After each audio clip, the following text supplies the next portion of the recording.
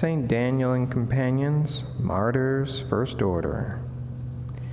After the Franciscan order had been blessed in the glorious death of its first martyrs, St. Berard and his four companions, holy rivalry was aroused among the children of St. Francis to offer their blood in preaching the faith of Christ. In 1227, Daniel, provincial of Calabria, a man of eminent sanctity, and six companions, Angelus, Samuel, Donulus, Leo, Hugolinus, and Nicholas, with the blessing of the minister general, went to Africa to preach the gospel of Christ. Landing at Ceuta, they resolved to preach in that large city. Before entering the city proper, they learned from Christian merchants that a strict order prohibited entrance to all Christians. They realized that their undertaking was fraught with the greatest danger, and they prepared themselves accordingly.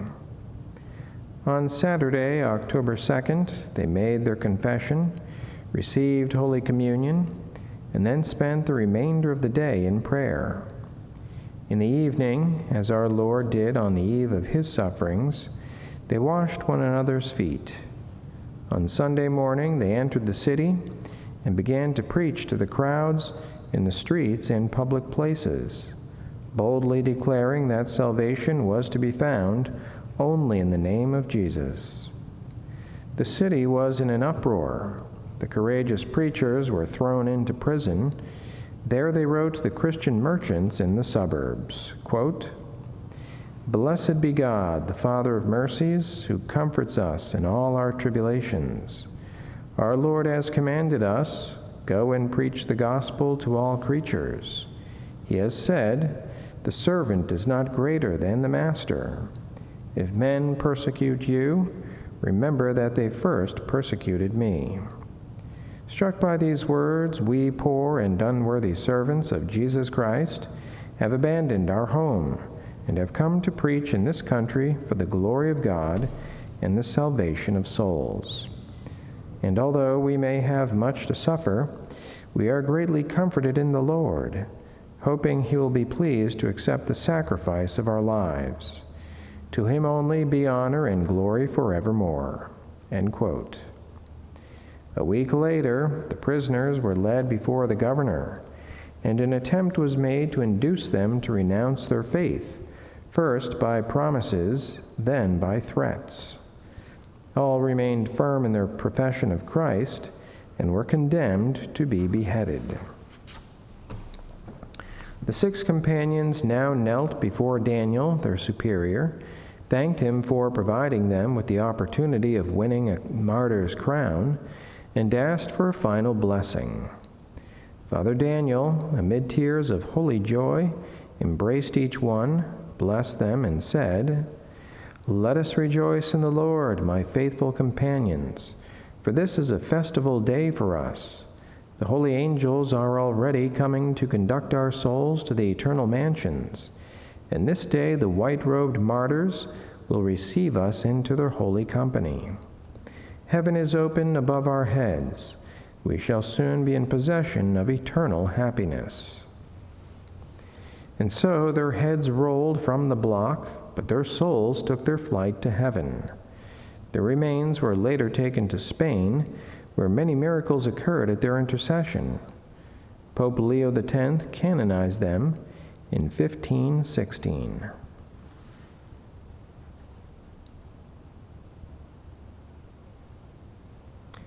On venerating the holy martyrs. In our veneration of the saints, the holy martyrs deserve special attention. We venerate in them, to an extent, the blood of Christ, since the blood they shed is like a continuation of the blood which Christ shed for us on Mount Calvary. They sealed with their blood the truths for which Christ was crucified. By sacrificing their lives, they also gave proof of their perfect fidelity and supreme charity towards Christ, thus giving all Christians an, encouraging example. The willing self oblation of the holy martyrs should impel us to venerate these heroes of the faith and should fill us with a great love for our holy religion.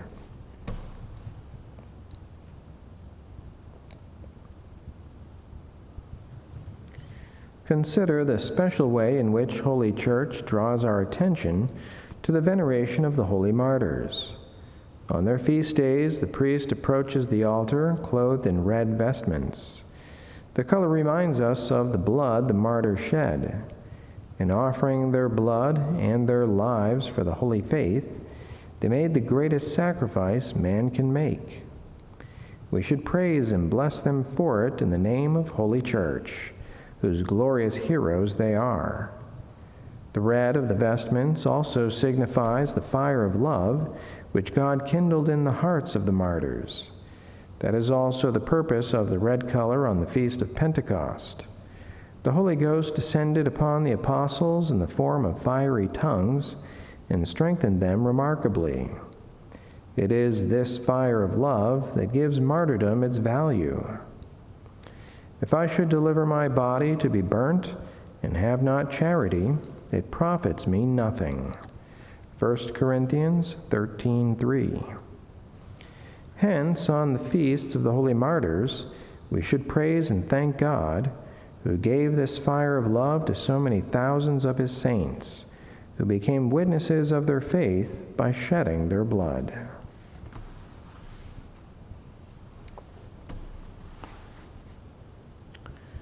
Consider that the martyrs gave proof of their fidelity even before they shed their blood. Faithful to the call of the apostolate, they went out to face danger after due preparation. They accepted reproach and pain patiently, even cheerfully, for the sake of Christ. Promises could not lure them, nor threats frighten them to abandon him. We must imitate the martyrs in their fidelity even if we are not called upon to shed our blood for Christ. Only in that way may we hope to please them by our veneration. The glorious crown which they have won should encourage us to remain faithful in our allegiance to Christ. Their powerful intercession will help us.